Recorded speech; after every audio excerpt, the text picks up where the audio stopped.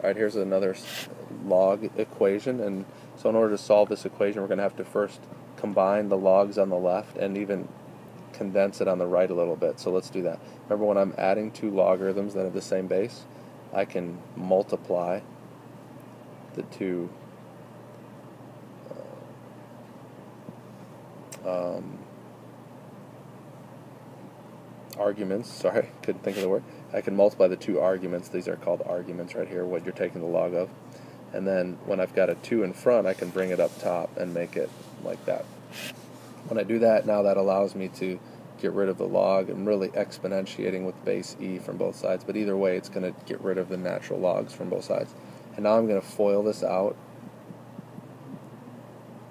Uh, whoops, plus x minus 7x minus 7 equals x squared. Now I'm going to add like terms, negative 6x minus 7 equals x squared. So x squared minus that, these x squareds cancel out from both sides.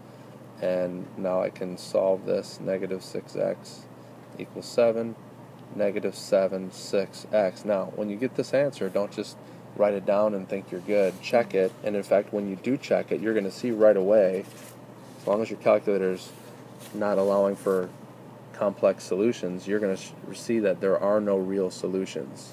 So.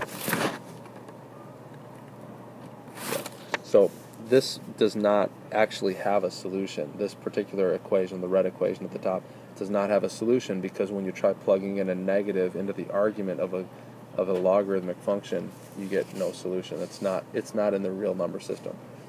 If you were learning about complex numbers with logarithms, just like you had the square root of a negative number, you used i instead. You can do the same thing with this, but we're not doing that. And so your answer is no solutions.